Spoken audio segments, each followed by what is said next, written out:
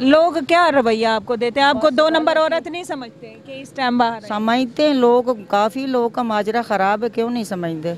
छेड़ा आप उनसे मा, मांगती होंगी वो कहते होंगे कि पहले हमारे साथ को गलत छेड़ा छड़ा भी करते हैं क्यों नहीं करते? पुलिस वालों ने भी कभी हाथ सफ़ाई करने की कोशिश की आपको? हम्म, जी पकड़ते हैं वो भी क्यों नहीं है? अच्छा हाँ। तामुन नहीं करते? तामन नहीं करते हमारे इधर रिश्तेदार भी घूमते हैं ना। कोई किसी को मैडम देता नहीं है बातें सब कुछ सुनाता देता कोई नहीं किसी को।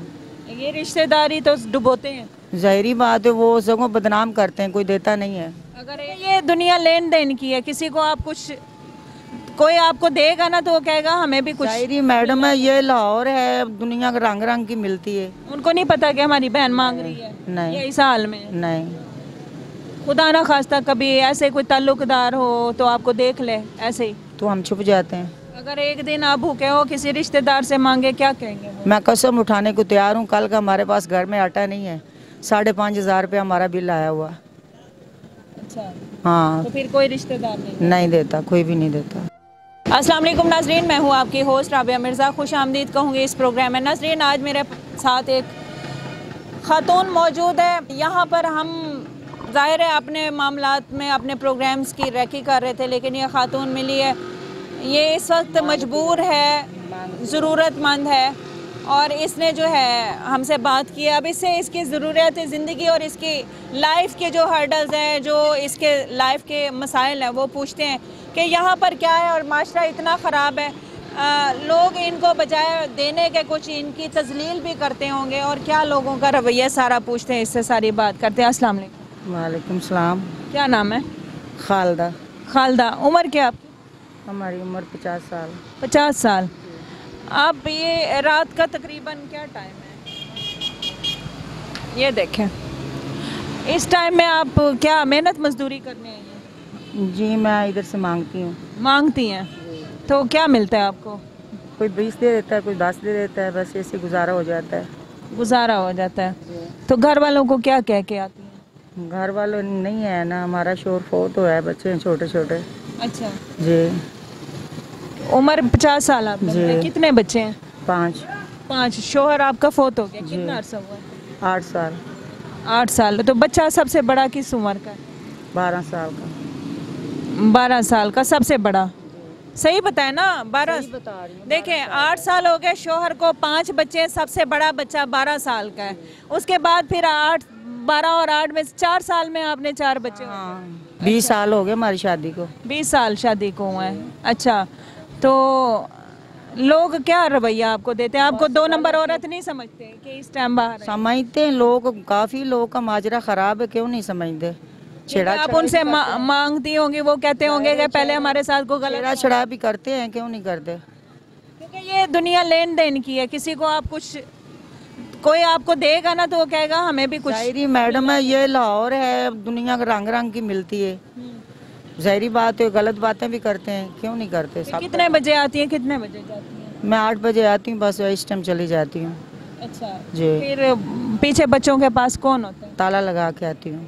अंदर वो होते हैं? जी। उनको क्या बता के आती है कहाँ जा रही है? काम पे जा रही हूँ मजदूरी करती हूँ। मजदूरी करती है? जी। कभी खाली हाथ लौटना हाँ बिल्कुल। फिर घर जाके उन पैसों से आप बच्चों को क्या देती हैं? किराए रेंट देते हैं बिल देते हैं। हमारा छः हज़ार रेंट बिल आ जाते हैं। और बच्चों का रोज़गारी भी होती है। खाना वगैरह भी बनाना होता है। कपड़ा जूती भी लेना होता है। रात के टाइम तो औरतों का वैसे निकलना बहुत मुश्किल है। मैं तो पूरी टीम के के साथ है निकल पकड़ लेते हैं ना क्या करें फिर? दिन के टाइम पुलिस वाले पकड़ लेते हैं। पुलिस वालों ने भी कभी हाथ सफ़ाई करने की कोशिश की आपको हम्म, जी पकड़ते हैं वो भी क्यों नहीं है? अच्छा। हाँ। तामुन नहीं करते? तामन नहीं करते पकड़ लेते हैं। तो कहाँ ठहरती हैं? लोगों को माशाल्लाह आपका पहनावा तो सही है कपड़े शपड़े आपने सही पहने हुए हैं। लोग बात नहीं करते कि कपड़े शपड़े तो सही है फिर मांगने वाली तो लगती नहीं है। तो बस क्या करें ये सफ़ाई करनी भी मजबूरी है ना। साफ़ हमें जाहिरी बात है फिर साफ़ नहीं रहेंगे तो फिर बदबू आएगी तो आपका अगर आप ना मांगे घर बैठे या आपकी कहीं जॉब करवा दें तो फिर कहीं फैक्ट्री लगवा दें तो कर लेंगी? बिल्कुल कर लूँगी। कि क्या टाइमिंग आप कितना टाइम दे सकती हैं फैक्ट्री में? आठ दस घंटे दे सकती हूँ। दे सकती हैं। बच्चों को फिर किसके पास छोड़ेंगे? जाहिरी बात है मजबूरी है कुछ हाल निकालूँगी ना। अच्छा। जी। बहन भाई नहीं है आपके? हैं वो गाँव में होते हैं। उनको नहीं पता कि हमारी बहन मांग रही है? नहीं। इस हाल में? नहीं। खुदा ना खास्ता कभी ऐसे कोई ताल्लुकदार हो तो आपको देख ले ऐसे ही। तो हम छुप जाते हैं। अंदाज़ा होता है। हाँ पहचान लेते हैं ना छुप जाते हैं। इसलिए मुँह छुपाया हुआ है ना जी जी।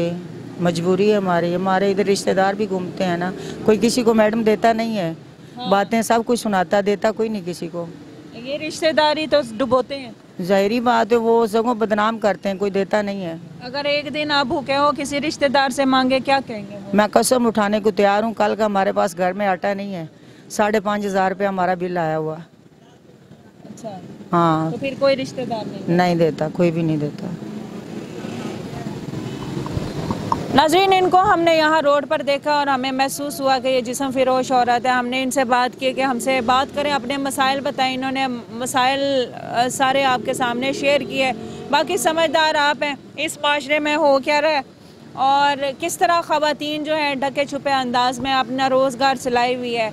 हम और आप बेहतर समझ सकते हैं, लेकिन उनके ऊपर जो वो कर रही हैं, उनके भी जज्बात होंगे, एहसास होंगे जब वो पैसे घर लेके जाती हैं रात को।